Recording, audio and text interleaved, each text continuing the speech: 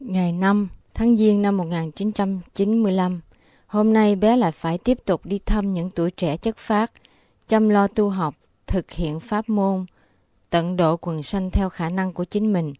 Bé cảm thấy vui không? Thưa bé rất sung sướng được gặp tuổi trẻ tự thức tham thiền nhập định, rất quý giá. Hành để ảnh hưởng người kế tiếp, hành để tâm linh được phát triển. Thế đời cũng như đạo đều vui, chung sống ấm cúng và hạnh phúc, cương quyết một lòng tu tiến. Kẻ thực hành chánh pháp truyền miên tiếng, chẳng khổ vẫn vui đạo nói liền.